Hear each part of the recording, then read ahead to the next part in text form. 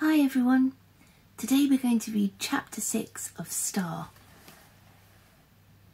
I love this cover. It's by Britta Teckentrup and the illustrations are by Joanne Davies. So this is the illustration at the start of chapter 6 and you can see Anushka is there um, running along the railway line because she's just seen that Star, the tiger cub, is, um, is stuck on the railway line. Anushka let out a yelp of panic. The tiger cub was slumped on the line between her and the train. She dashed along the track, her boots skidding and clattering on the icy sleepers, and flung herself down beside the tiger. What are you doing? she wailed. Get up! You can't stay here. Look! The train was still quite a long way away, but it was approaching fast. Anushka reckoned she had less than a minute to get the tiger cub off the line. Are you hurt? she muttered, pointing the torch at the cub. Or perhaps you're stuck. Have you got a paw stuck or something? But all four paws seemed fine. The cub was just lying on the track, looking exhausted. As Anushka watched, the tiger's eyes closed again, and her head sank down on her front paws. You have to move! Come on! she pleaded. The tiger had been so fierce and strong, facing off against the bear for her, how could she be so feeble now? Couldn't she feel the shiver of the metal underneath her? Didn't she know how much danger she was in? The cubs used up the last of her strength, Anushka realized. She gave it all up to fight for me. No, Anushka said grimly. She stuffed the torch into her pocket. She didn't need it. The lights of the oncoming train were casting an eerie white glow all around them now. Very soon the driver would see her and the tiger, but Anushka wasn't sure he'd be able to stop, even if he wanted to. The train was speeding towards them too fast.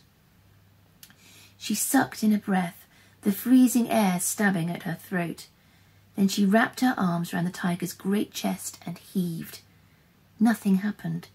Even though the tiger was only a cub, she was too big and heavy for Anushka to shift her.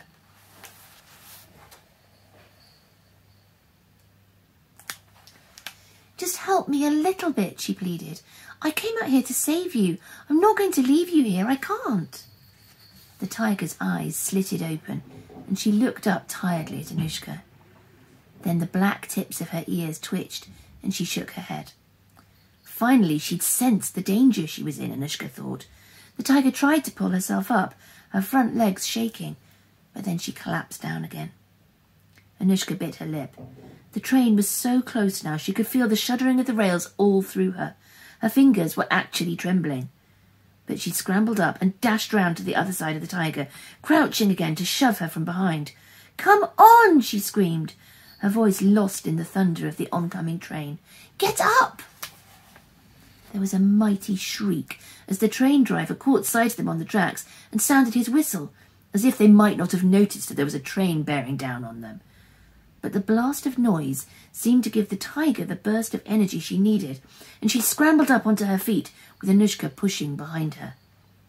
They lurched off the line in a stumbling rush and flung themselves clear. Anushka collapsed into the snow piled at the side of the tracks, her face pressed into the hot fur of the tiger's side.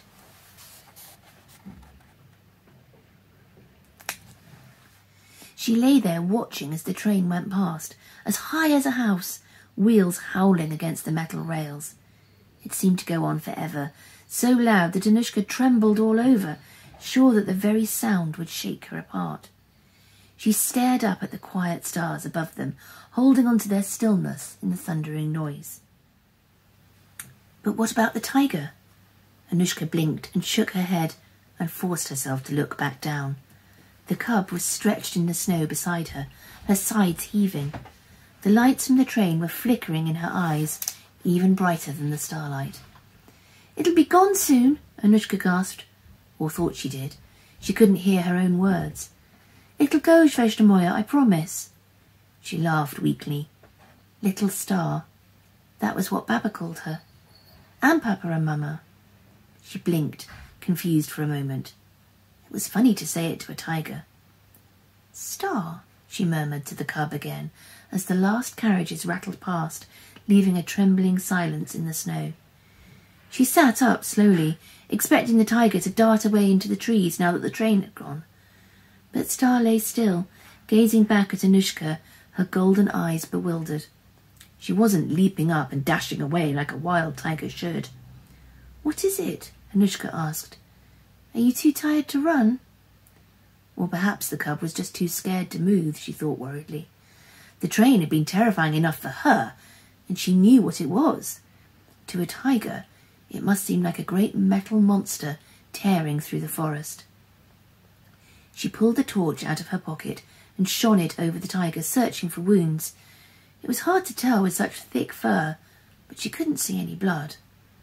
But the tiger cub's tail didn't look right, she realized, peering at it with a frown. Instead of orange fur, banded neatly with black, and a black tail tip, the whole end of Star's tail was dark.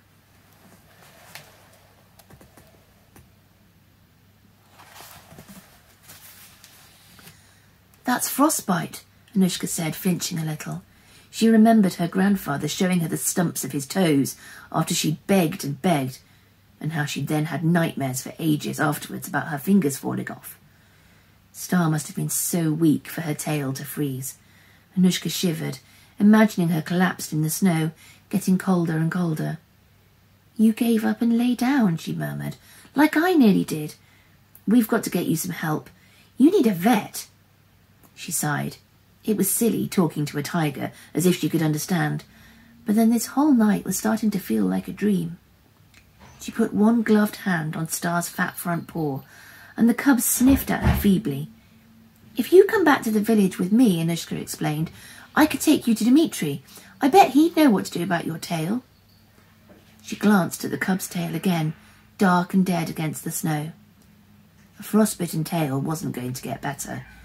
She suspected that Dmitri would know exactly what to do with it, but she wasn't going to mention that to Star, just in case the tiger cub did understand her. Dmitri will sort your tail out, and then the people from the nature reserve will come and fetch you. It'll be lovely there, like a like a tiger home. But you're going to have to get up, she said encouragingly. I know you can. You managed it before when the train was coming. But that had been because Star was scared. Anushka didn't want to frighten her into moving. She didn't know how to frighten a tiger anyway. This isn't going to work, she muttered wearily.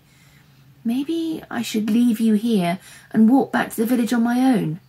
Anushka chewed her lip. Star wasn't moving now, but perhaps when she'd recovered from the shock of the train, she'd wander off again. It was no good going and telling everybody she'd found a tiger if there was no tiger when they all came to find her. You have to come with me. Then she sat up, patting frantically at her pockets. Papa's piroshki! They're chicken and mushroom. I bet you'd love them. Anushka pulled out the foil packet and started to fumble at it with her gloves. Her nose was too cold to smell the little chicken pies as she opened up the foil, but the tiger's whiskers twitched. Anushka tore off a piece of pastry and felt her stomach twist. She was hungry now too, but not nearly as hungry as Star. She wondered when the little tiger had last eaten. Had she managed to hunt at all since her mother had been killed? Or did she still not know how to? If she'd been desperate enough to come scavenging around the village so close to humans, it was likely she'd just been eating the scraps of other creatures' kills, anything she could find. But whatever she'd been doing, she clearly had not been eating enough.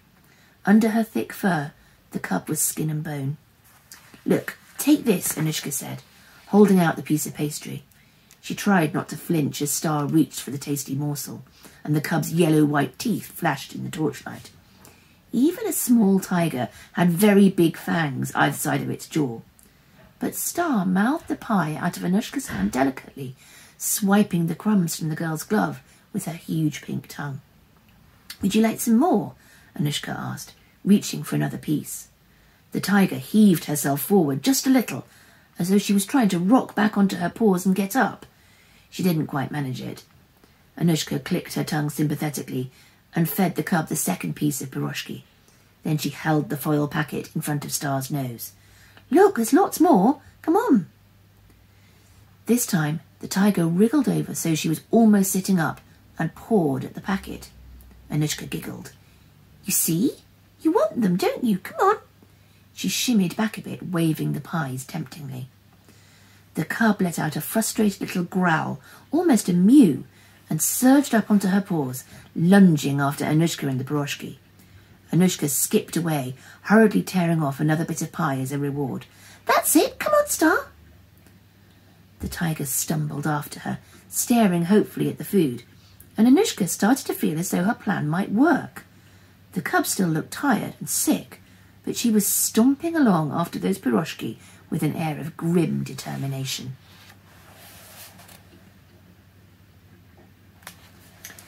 Wish I could feed you the whole packet all at once, she murmured, waving a chunk of pie temptingly at Star.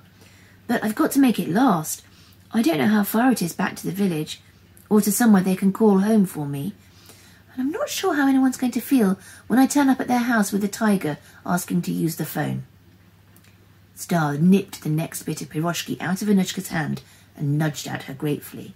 She was starting to look a bit more lively, which was good, but even that little nudge reminded Anushka how strong the tiger was. If she began to feel a lot better, Star could just knock her over and take the whole packet of little pies. There wasn't going to be any more of this nonsense about giving them out gradually. Anushka moved a few steps ahead of Star and held up the piroshki a little higher. But the cub closed the gap at once and pawed hopefully at the packet, her claws raking the foil. If she stood on her hind legs, she would be as tall as Anushka. Okay, okay, Anushka sighed. Here you go. I'm just glad Papa packed up lots last night, but once they're gone, they're gone. She handed Star a bigger bit of pie, and the cub snapped it greedily out of her hand. But when she landed again, whipping her tail eagerly, Anushka noticed her wince. The tiger looked back over her shoulder to glance at her blackened tail tip, as though it was hurting. Anushka hoped that was a good sign, her grandfather had explained how frostbite worked when she was so upset about his toes. If Star's tail was painful, it meant it still had some feeling in it. There was still blood flowing, and the nerves were working. Maybe they were going to be in time to save it. She nodded to herself, feeling more determined. The dazed, sleepy feeling that had been so frightening was almost gone. The excitement of finding Star and the terror of the oncoming train had given her a new energy to fight the cold. She couldn't let the little cub down, but they had to make it back to the village before Star collapsed again, or Anushka did. Thanks for listening, everyone. I'll read the next chapter again soon. Bye!